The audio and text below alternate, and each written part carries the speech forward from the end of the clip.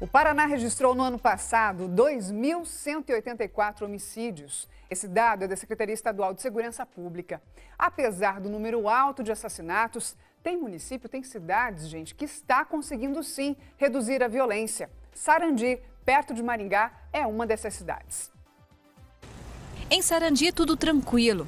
Há dois meses não há registro de homicídio. O último caso registrado aconteceu no início de maio. Hoje nós temos um índice muito importante, cerca de 45% de diminuição de crimes contra a vida nesse primeiro semestre aqui em Sarandi. Começamos na Polícia Militar, na Guarda Municipal, com o policiamento preventivo, uma integração muito forte com a Polícia Civil na questão das investigações e dos procedimentos em andamento.